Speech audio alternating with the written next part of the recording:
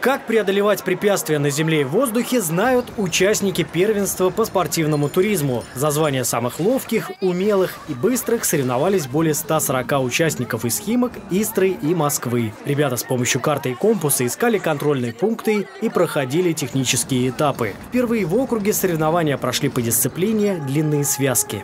Длинная связка она заключается в том, что спортсмены, чтобы пройти технический этап, его нужно найти. То есть им дается карта, на которой указано, где именно располагается этот технический этап.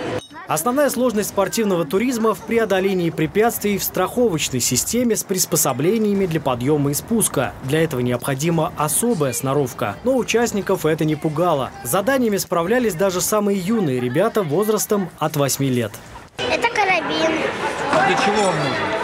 Он нужен для того, чтобы цепляться, а, ну, за веревку, например. Или цеплять, а, ну, как вот здесь вот, цеплять карабин за ну, зажимар.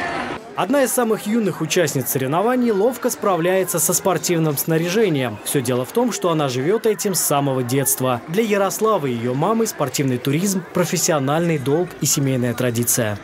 Дочка с рождения видела, как я сама участвовала в соревнованиях, ездила на чемпионаты России, Кубки России, со мной иногда приезжала. Видела, интересовалась, э, что это такое, всеми, всем оборудованием, карабинами, жумарами.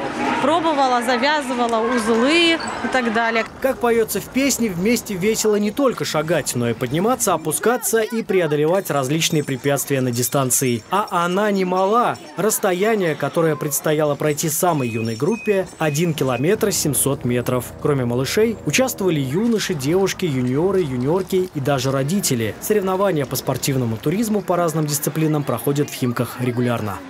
Александр Сергеев, Екатерина Дроздова, Дмитрий Бочаров. Новости Химки ТВ.